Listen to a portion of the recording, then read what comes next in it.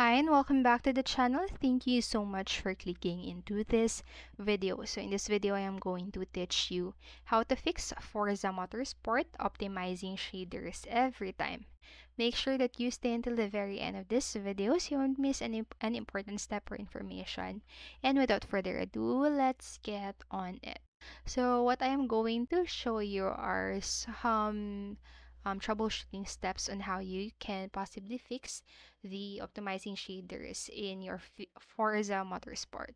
So the first thing that you can do is to update graphics and car drivers. So ensure your graphics and car drivers are up to date because outdated drivers can cause compatibility problems leading to the game optimizing shaders repeatedly. So check your graphics card manufacturer's website for updates and the next what you can do is to reset your graphic settings. So incorrect graphic settings might trigger the shader optimization process. So go to the games option menu and click onto the graphics and select reset to defaults to restore the original settings.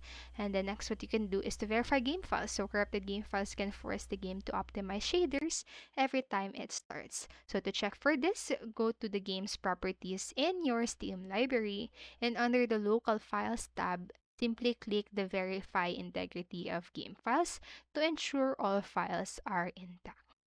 And then lastly, what you can do is to reinstall the game. So if none of the steps that I've told you work, consider reinstalling the game and while time consuming, this step becomes necessary if the game files are severely damaged, causing persistent shader optimization issues.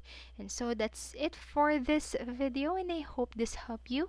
And if it did, please make sure to like, subscribe, and hit notification bell button so you won't miss a video. Thank you so much for watching and have a great day. Bye bye.